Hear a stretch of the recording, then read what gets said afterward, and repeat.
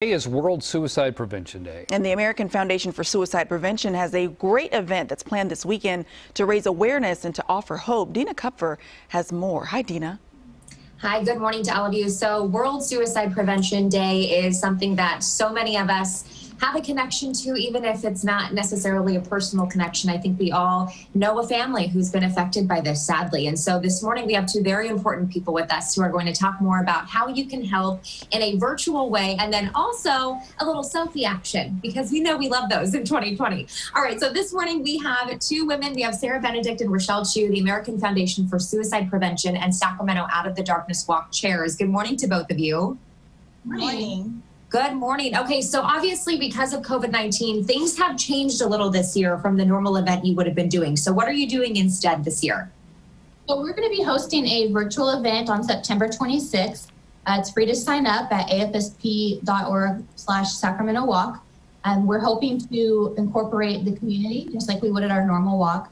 So, we're asking people to submit pictures of themselves walking in the community, uh, videos, talking about why they walk and what color they wear, and um, we're going to be having a selfie booth this weekend also to get pictures of teams.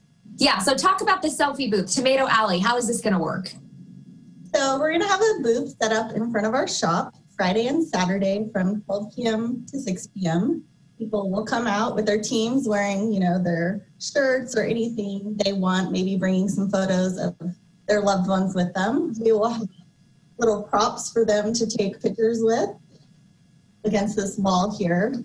We'll also have actually a lot of resources because that's one element of the walk that's really important that people can come out and talk to us. So we'll have resources for anybody who may need a little help during this time. Yeah, and I think, you know, especially with what's going on right now, it's a very difficult time for so many individuals. And so, Sarah, I know you have a very personal connection to this topic. So let's talk about how this has impacted your family. Sure. So I lost my brother, uh, Brad, in 2012 after a lengthy battle with depression and anxiety.